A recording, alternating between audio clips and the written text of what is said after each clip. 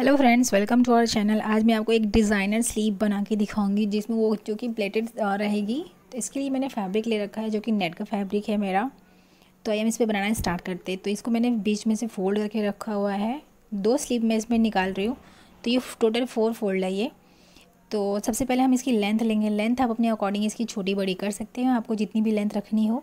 तो मैंने eighteen inches इसकी लेंथ रखी है। और जो इसमें मैं इसकी बॉटम में डिज़ाइन क्रिएट करूँगी तो वो मैं आपको बाद में दिखाऊँगी। तो इसके बाद हम इसकी डेप्थ ले लेते हैं। आर्म होल की डेप्थ मैंने एट इंचज़ रखी है। ये टोटल एट इंचज़ है। मैं सेवन इंचज़ रखूँगी इसकी जो हमारे आर्म होल की डेप्थ रहेगी। और टू इंच डाउन मैं इस तरह से रखूँगी, जो कि गुलाई का शेप देने के लिए होता है। तो देखिए, इस तरह से हम टू इंच डाउन एक निशान लगा लेंगे। आप चाहे तो वन पॉइंट फाइव इंच तक भी निशान लगा सकते हैं। आपको जितना भी रखनी हो, आप अपने मेज़रमेंट के अकॉर्डिंग रखिए। तो देखिए, इस तरह से मैंने ये मार्क कर लिया है। अब मैं इसके बॉटम का निशान लगाऊँगी। तो बॉटम आपका जितना भी हो, आपकी रिस्ट का जितना भी गुलाई हो, उसके हिसाब से आप निशान लगाइए। मैंने फ़ोर एंड हाफ़ इंच पे निशान लगाया है। तो देखिए, इस तरह से हम निशान लगा लेंगे। अब हम ये तिरछी लाइन ड्रॉ कर देंगे, इन पॉइंट्स को मिला देंगे। इसकी गैपिंग भी मैंने वन इंच रखी हुई है। तो इस तरह से हम लाइन ड्रॉ कर देंगे, एक स्लैंड लाइन ड्रॉ कर देंगे। तो देखिए, इस तरह से मैंने एक लाइन ड्रॉ कर ली है। ये तो हमारा एक्स्ट्रा मार्जिन था, वो है। अब हमें जो हमें जो सिलाई का जो मार्जिन है, इस पर भी हम निशान लगा लेते हैं, जो कि अंदर मैंने निशान लगाया था सेवन इंचज़ पे। तो देखिए, इस तरह से हमने इसको भी लाइन ड्रॉ कर ली है। अब इसके बाद हम इसके आर्म होल की जो गुलाई का शेप देने के लिए जो निशान लगाते हैं थ्री इंच पे, वो निशान लगा देंगे। फिर इसके बाद हमें अंदर की और बाहर की गुलाई का शेप देना है। अगर आप चाहें तो फ्रेंच कर्व की हेल्प से भी आप शेप दे सकते हैं। तो आप ये देख सकते हैं ओवरऑल मार्किंग हो चुकी है मेरी। अब मैं इसकी कटिंग कर लूँगी। तो जो हमारे आउटर जितने भी बाहर के निशान हैं सिर्फ़ उसे ही कट करना है पहले। तो पहले हम इसकी कटिंग कर लेंगे बाहर साइड की। फिर उसके बाद हमें इसकी कटिंग करने के बाद हम इसको ओपन कर लेंगे। ओपन करने के बाद जो अंदर की गुलाई का निशान था, उसकी भी हम कटिंग कर लेंगे। ऊपर साइड पे जो जुड़ा हुआ भाग है, इसकी भी मैं कटिंग कर लूँगी। तो देखिए, इस मैंने इसकी कटिंग कर ली है। ये दो पीसेस मेरे मिल गए हैं। अब हमें इसमें जो डिज़ाइन डालनी है, उसके लिए मैंने ये फैब्रिक ले रखा है, जो कि प्लेन फैब्रिक है, बिल्कुल इसका ही बचा हुआ फैब्रिक है ये। तो देखिए, इस तरह से इसकी मैंने लेंथ रखी है फाइव इंचज़ और विथ आप अपने अकॉर्डिंग इसकी रख सकते हैं। आपको जैसी, जितनी भी इसमें ज़रूरत पड़े, आप अपने अकॉर्डिंग रखिए। इस तरह से मैं इसमें छोटी छोटी प्लेट्स बनाऊँगी इस तरह से आपको बनानी है, आप देख सकते हैं, बिल्कुल छोटी छोटी प्लेट्स बनानी है। आप अपने अकॉर्डिंग इसकी प्लेट्स छोटी बड़ी कर सकते हैं। मैंने छोटी छोटी प्लेट्स बनाई हुई हैं। आप चाहे तो पहले हाथ से कच्चा कर लीजिए, फिर इसके बाद आप मशीन से बनाइए। मैं आपको बना के दिखाती हूँ।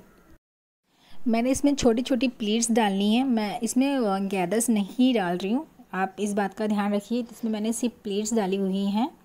तो मैं आपको बना के दिखाती हूँ बिल्कुल। छोटी छोटी सी प्लेट्स डाली है इसमें।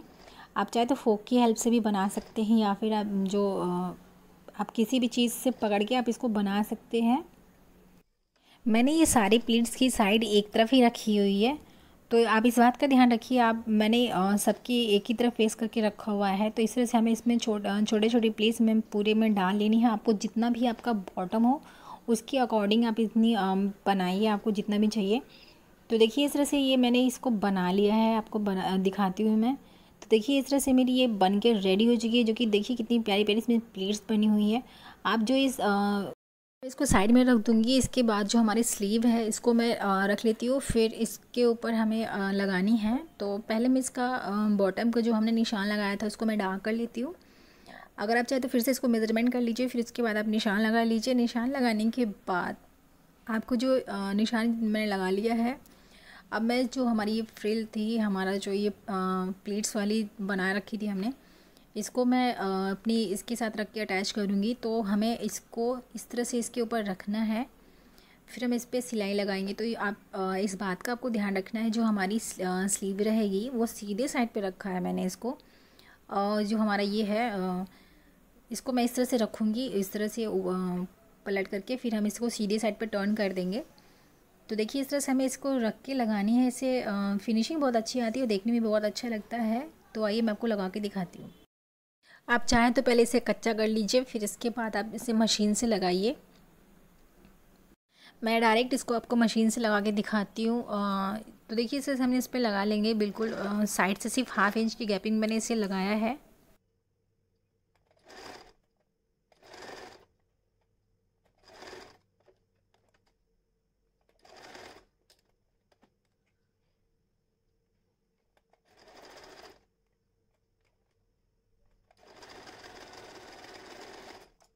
ये देखिए, मैंने इस पर सिलाई लगा दी है। अब मैं इसको सीधे साइड पर टर्न करके एक और बार इस पर सिलाई लगा दूँगी ताकि इसे मजबूती आ जाए इस पर और ये निकले नहीं।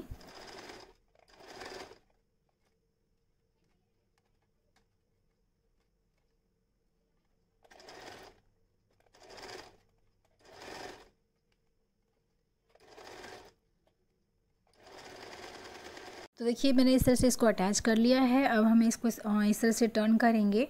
फिर हम इस पर सिलाई लगा देंगे। तो हमें ऊपर साइड से बिल्कुल हाफ़ इंच के आज लगभग पकड़ के कपड़े को स्टिच करना है। और जो हमने बॉटम का निशान लगाया था, उधर साइड से जो हमने निशान उस पर हमें सिलाई लगानी है। तो आइए मैं कोई से स्टिच करके दिखाती हूँ। यहाँ पे मैं बराबर इसको रख लूँगी, फिर सिलाई लगाऊँगी।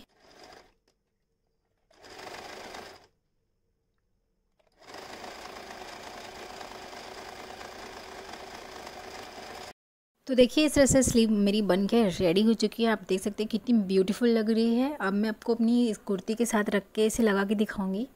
इस, ये लाइनिंग वाली कुर्ती मैंने बनाई थी, जिसकी लिंक मैं अपने डिस्क्रिप्शन बॉक्स में दे दूँगी। आप वहाँ से इसे फॉलो कर सकते हैं कि इसे मैंने कैसे बनाया था। तो देखिए, कितनी ब्यूटीफुल कुर्ती बना के रखी थी मैंने। अब मैं इसको हमें इसे टर्न कर लेना है, क्योंकि सीधे साइड से नहीं लगाते ये स्लीव को। तो इसको हम टर्न कर लेंगे उल्टे साइड पे। तो देखिए, इस तरह से मैंने इसे रॉन्ग साइड पे टर्न कर लिया है। तो देखिए, इस तरह से मैंने कुर्ती को सीधा उल्टा कर लिया है। अब जो हमारी स्लीव है, वो सीधे सीधी रखी हुई है मैंने, सीधे साइड पे रखा हुआ है। तो इसको हम अपनी स्लीव अपनी कुर्ती के साथ इसे अटैच करेंगे। तो इसकी हम जो आर्म होल की गुलाई का शेप हमने दिया था अंदर की तो देखिए, इस तरह से हम इसको इस तरह से इसके स्लीव के अंदर रखेंगे, कुर्ती के अंदर से इसको स्लीव को रखेंगे इस तरह से। फिर इसको हम इस पर अटैच करेंगे। इसको हम पहले अच्छे से इसको जमा लेंगे, जो हमारा निशान है सिलाई वाला। दोनों जो सिलाई हमने जहाँ से की है, वो निशान को निशान से मिला लेना है। फिर इसके बाद हम इसको अच्छे से मिला लेंगे। फिर इस पर अगर आप चाहें तो इसे पिनअप कर लीजिए या फिर कच्चा कर लीजिए। फिर उसके बाद आप इसे लगाइए। और जो इस तरह से स्लीव लगती है, वो बहुत ही ब्यूटीफुल लगती है। और आप इस तरह से लगा सकते हैं ईजी भी है ये। तो देखिए, इस तरह से मैंने रस्से रख लिया है। अब मैं इसे स्टिच करके दिखाती हूँ। स्टिच करने से पहले जो हमारा ये शटल बॉक्स है, इसको हम रिमूव कर लेंगे। इसके बाद हम अपनी स्लीव को इसके अंदर अच्छे से एडजस्ट करेंगे, फिर हम इसको लगा देंगे। निशान को निशान से मिला लेंगे। फिर निशान मिलाने के बाद जो ये साइड है, ये बैक साइड पे हम इसे रखेंगे। देखिए, इस तरह से हम अंदर साइड को टर्न कर देंगे इस तरह से। फिर इस पर हम अपनी मशीन में इसको अच्छे से एडजस्ट करूँगी। फिर इसके बाद मैं इसमें लगा दूँगी इसे पूरे गुलाई में। मेरी अपकमिंग वीडियोस के नोटिफिकेशन पाने के लिए आप बेल के आइकन को क्लिक करना ना भूलिए, जिससे आपको मेरी अपकमिंग वीडियोस के नोटिफिकेशन मिलते रहे और आप मेरी वीडियो सबसे पहले देख सके। ये स्लीव गुलाई में लगती है तो देखिए इस तरह से हम इसको रख के गुलाई में पूरे पे लगा देंगे।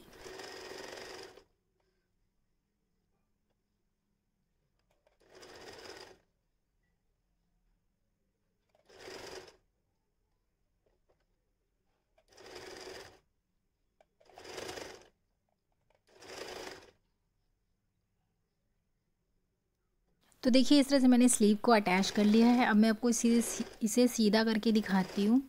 तो देखिए, इसे मैंने इसे सीधा कर लिया है। आप देख सकते हैं, ये और कितनी ब्यूटीफुल तरीके से लग के बनी हुई है। फिर ये देखिए, निशान से निशान भी मिल रहा है इसका। आप देख सकते हैं, ये बहुत ही ब्यूटीफुल तरीके से लगी हुई है। ये बहुत ही आसान तरीका है स्लीव लगाने का। तो आप भी इस तरह से स्लीव लगा सकते हैं। देखिए फिनिशिंग भी बहुत अच्छी आती है इससे।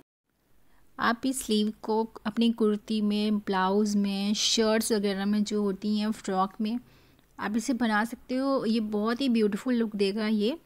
तो अब मैं आप भी ये ब्लाउज स्लीव को ज़रूर बनाइए जो कि आपको डिसेंट लुक देगा। तो इस स्लीव को ज़रूर आप बनाना। आप ये देख सकते हैं, इसके बॉटम मैंने ये प्लेट्स डाली हुई थी जो कि देखने में बहुत ही आकर्षक लग रहा है। जो कि स्लीव की ब्यूटी को बहुत ही ब्यूटीफुल बना रहा है तो आप देख सकते हैं, आप भी स्लीव को ज़रूर ट्राई करिएगा ज़रूर बनाइएगा। Hope hope you I like it. अगर आपको मेरी वीडियो अच्छी लगी हो तो प्लीज़ इसे लाइक करिए, शेयर करिए और सब्सक्राइब करना ना भूलिए। अगर आप मेरे चैनल पे नए हैं तो और कमेंट्स ज़रा बताइए कि आपको मेरी आज की आज की वीडियो कैसी लगी है। Thanks for watching. Thank you.